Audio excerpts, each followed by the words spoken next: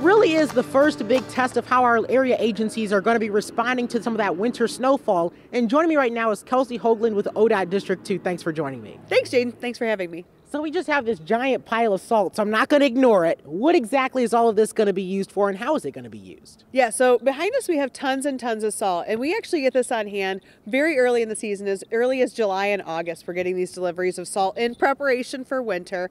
Um, but what we see here is actually a, a, a tons and tons of salt that we will go through throughout the season. So we're not expecting to necessarily use all of it this weekend, although I guess it's not impossible. Uh, but you know, salt is our greatest countermeasure to the snow and ice that we see fall on the roadway. So definitely looking forward to using it many times this year. Yeah, and the snow and ice is really the enemy. And one thing you had mentioned is because we're going to be starting out with rain before the actual snowfall, you guys aren't able to pre-treat.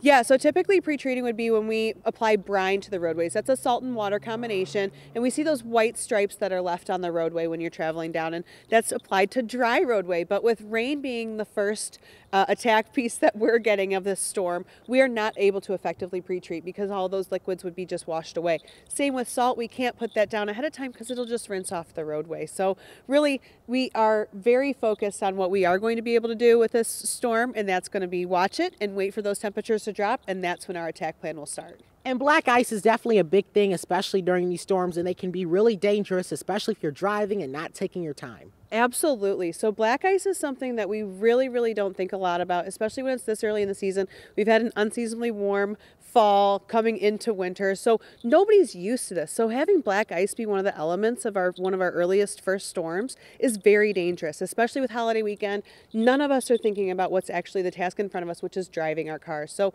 we're definitely encouraging people, please drive slowly. Please pretend that everything that you see out there is actually just a sheet of ice, because while it may not be, maybe we already have gotten rock salt out, we need to be prepared for dangerous conditions. For sure, and one misconception that people often have on who to blame when one street doesn't look well, ODOT covers mainly interstates, and there's definitely a difference between the area agencies. Absolutely. Thanks, Jaden. That's a great question. So that is really important to remember. ODOT stays focused on interstate, state routes, and U.S. routes. So I-475, I-280, I-75, yes, that's our bread and butter. You're going to see a lot of our trucks out in this area.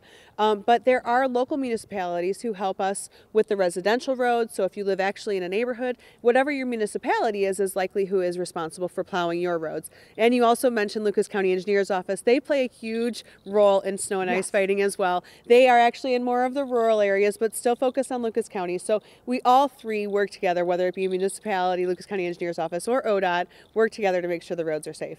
And teamwork makes the dream work, definitely. And for sure, people are going to have to stay tuned to your social media for updates. Yeah, definitely. Yeah. So what we really want to hammer out, and then you're going to see a lot of this on our social media, is just remember this storm is going to start with rain. Everything is going to be all honky dory, and everything's going to be great because it's just going to be raining. But then the temperatures are going to drop dramatically and quickly, and that's what calls for unexpected conditions. So keep in mind for that. Wind plays a whole nother element. Wind blows snow and creates also icy conditions on the roadway. So yes, we encourage people definitely to watch our social media, watch our weather partners. Our weather partners are going to be so important in telling us us what to expect, what's happening right at this very moment, and what's coming in the coming hours. So it's really, really important to stay focused on all those different messages. Yes while enjoying the holidays. And it's like everything's going to be great until it's not. So I guess this is definitely going to be the kickoff of what's going to hopefully not be a long winter.